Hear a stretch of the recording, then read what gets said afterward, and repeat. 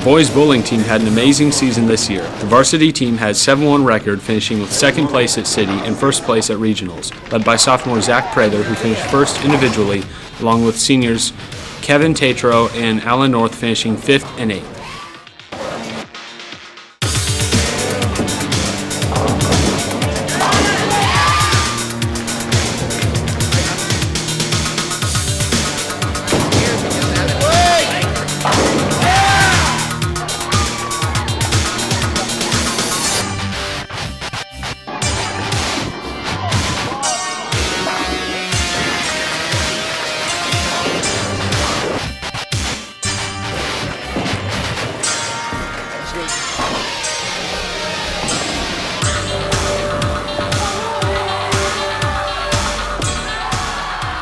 At state, they came up just short, finishing third as a team, with three top 20 placers Keith Hoffman finishing 13th, Brandon Welch finishing 12th, and Blake Branson finishing 5th. Only Zach Prather will be returning to the varsity team to lead in a building season next year.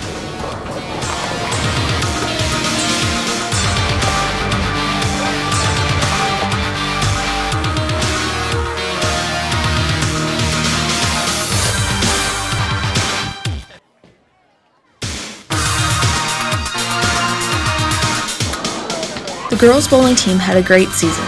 Starting off the year, they finished second at the Bishop Carroll Invitational and had a 7-1 season. Then, at the city tournament, JV placed third and varsity received second, missing first by seven pins. With three individual placers, Juliana Stockham placing fourth, Valerie Connolly placing third, and Sarah Anderson placing second.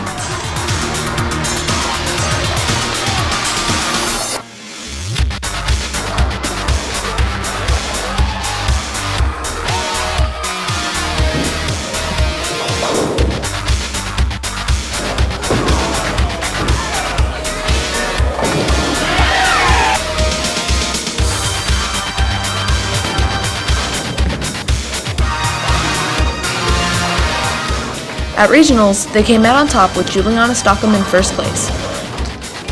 At state, they came in second with two individual placers, Sarah Anderson in 12th and Valerie Conley placing 6th. Next year will again be a strong season with 5 out of 6 girls returning.